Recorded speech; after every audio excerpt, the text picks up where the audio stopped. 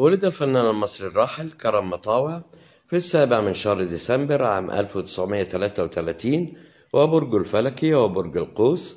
الفنان كرم مطاوع هو والد الفنانة حنان مطاوع ابنة الفنانة سوير المرشدي والتي كانت إحدى زيجاته. اسمه بالكامل هو كرم مصطفى محمود مطاوع. لذلك هو يحمل الديانة الإسلامية وهو من مواليد مدينة دسوق التابعة لمحافظة كفر الشيخ.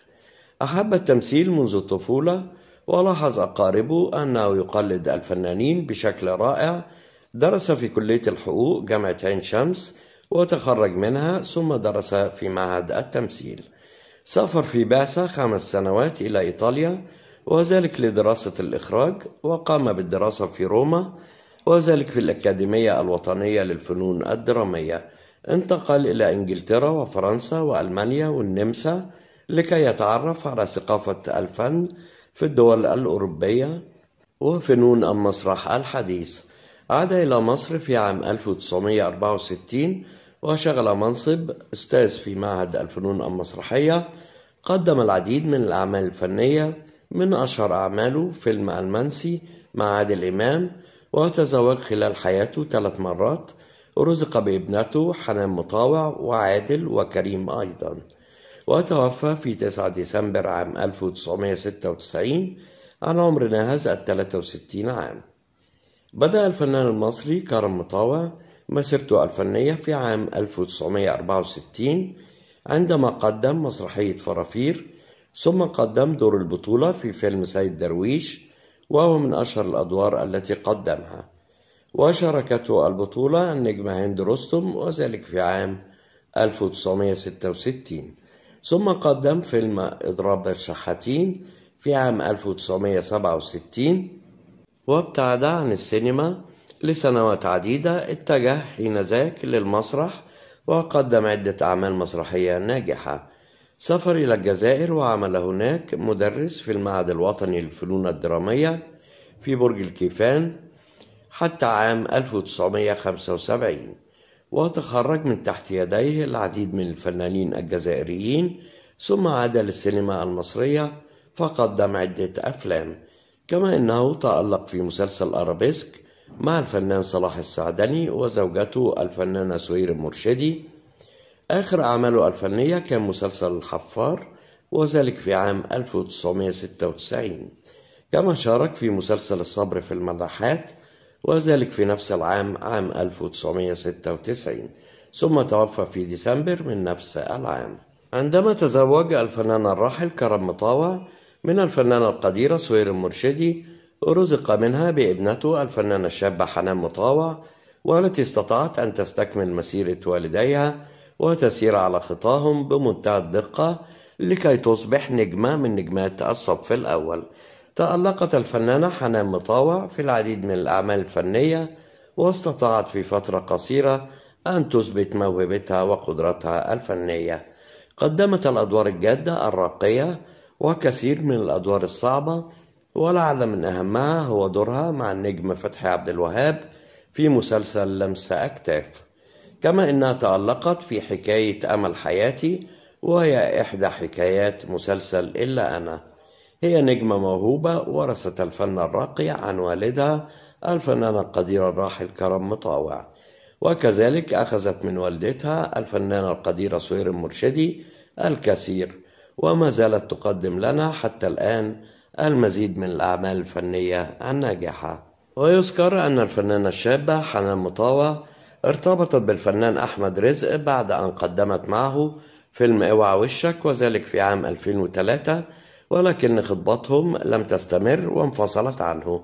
تزوجت بعد ذلك من المخرج المسرحي أمير اليماني ورزقت منه بابنتها أماليا. الفنان المصري كرم مطاوع لم تكن في حياته. الفنانة سهير المرشدي فقط فقد تزوج ثلاث مرات. المرة الأولى كانت من سيدة إيطالية الجنسية أثناء تواجده في إيطاليا وهي الدكتورة ميريت فيرفوم أو مارغريتا وقد تزوجها هناك وعاد بها إلى مصر ثم انتقل معها بعد هذه الزيارة السريعة مرة أخرى إلى روما وعاش معها هناك ورزق منها بابنه كريم وابنه عادل. ثم عادت معه مرة أخرى إلى مصر واستقرت معه هناك وعملت في برنامج الإذاعة والتلفزيون إلى أن انفصل عنها بعد عدة سنوات فعادت إلى إيطاليا مرة أخرى. أما زوجها الثانية فكانت الفنانة سهير المرشدي والتي تعرف عليها عندما كانت طالبة في المعهد العالي للفنون المسرحية.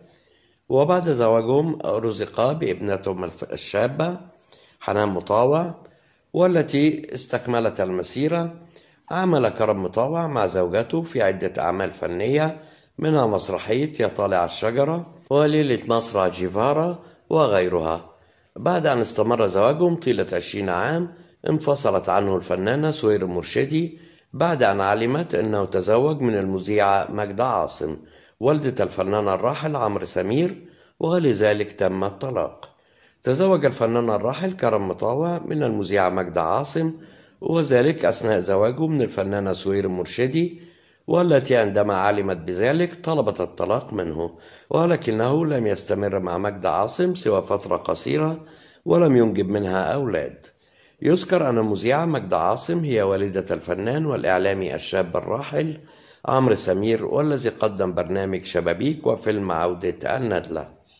قدم الفنان القدير الراحل كرم مطاوع مع الزعيم عادل إمام فيلم المنسي والذي تم عرضه في عام 1993 وبيعتبر هذا الدور من أهم أدوار الفنان كرم مطاوع حيث جسد في الفيلم شخصية رجل الأعمال أسعد ياقوت والذي يقيم حفل في منزله ويدعو إليه شخص من كبار رجال الدولة يرغب في إقامة صفقة معه.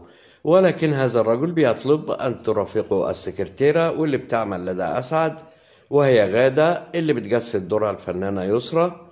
وعندما ترفض ذلك وتشعر بالضغط عليها بتهرب من الحفل بتذهب إلى محطة القطار الذي يعمل فيه المنسي وهو الفنان عادل إمام والذي يعجب بها وتظل معه وقت طويل بيتعرفان فيه على بعضهما إلى أن يصل رجال أسعد إليهم وينهلون بالضرب على المنسي ويأخذون غادة معهم إلى الحفل مرة أخرى وتتوالى الأحداث في صراع ويشارك في بطولة الفيلم الفنانة ناهد جبر والفنان الراحل مصطفى متولي وغيرهم.